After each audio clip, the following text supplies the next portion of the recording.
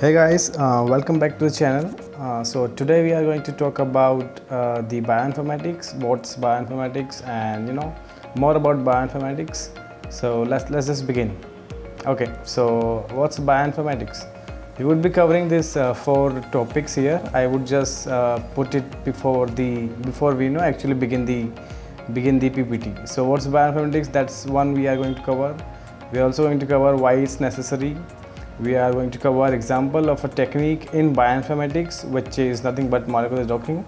And at the end we would also be covering the basic terminologies such as uh, what's protein ligand binding energy and docking etc okay so let's look at the first question. So what's the first question? The first question is what is bioinformatics? So uh, as you can see the definition bioinformatics is nothing but is the science of collecting and analyzing biological data uh, so if you, even if you look at the word bioinformatics, you can pretty much understand that it's nothing but the uh, but the science which allows us to get the information of complex uh, you know um, complex molecules in bio. So let's look, at an example now. Okay, so look at this uh, human body as we know it, and we also know that human body is made up of um, millions of cells. So these are the small tiny cells which makes up the body and in those tiny cells you would have the center of the cell as a nucleus. So this nucleus contains uh, this nucleus this is a nucleus and this small bluish molecule over there are chromosomes. So uh, human body has the chromosomes. We have 23 pair of chromosomes. And this chromosomes consists dna so this is the smallest unit uh, we have which which you know which contains so much of information that uh, that is useful for for you know for for the study of human body.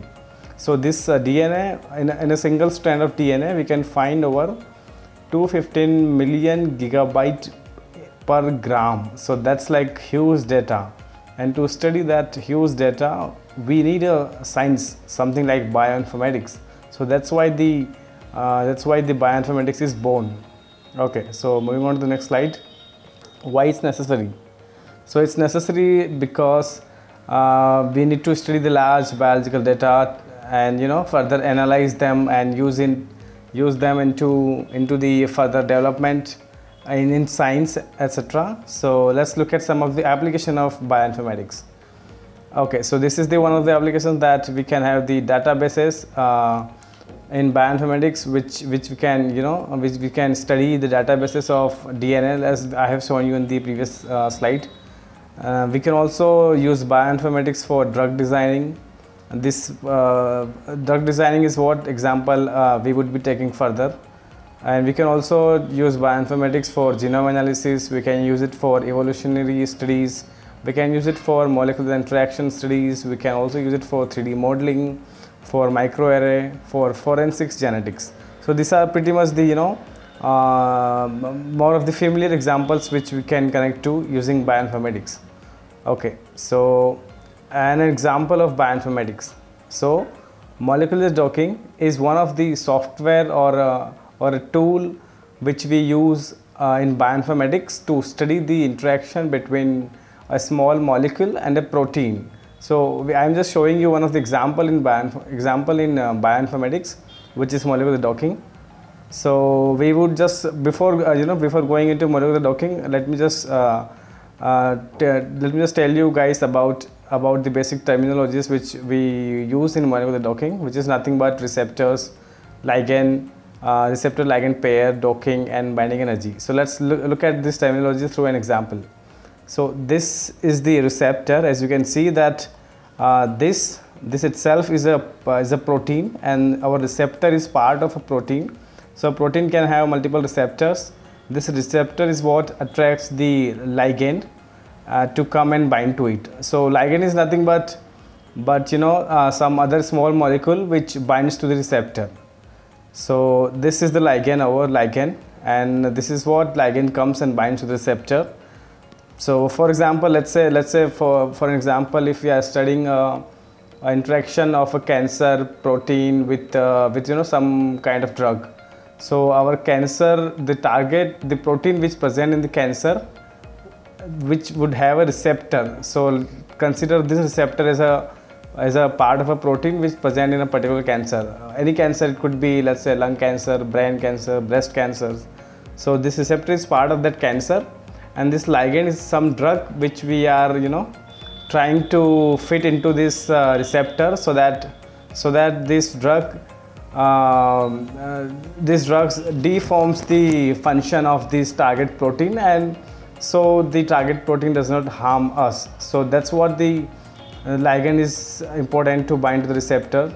And you know uh, is kind of a mechanism to prevent the cancer cancer spread and or, or further inhibit the cancer. So this is the ligand binds to the receptor. And now once the ligand binds to the receptor you would see uh, energy release. So this release of energy when ligands binds to the receptor known as binding energy which uh, which should be between minus 8 kilocalorie to minus 11 kilocalorie per mole. Uh, this is the range which is considered to be you know as, as kind of a good range to have for a ligand and receptor to uh, bind. Okay so what's the molecular docking and how do we uh, so as, as, we have already discussed what's molecular docking we would now see how do we perform docking?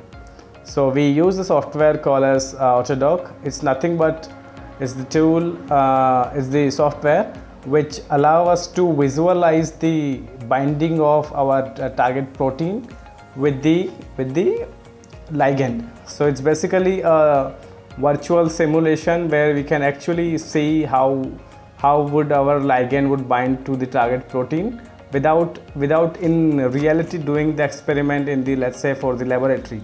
So this is an example.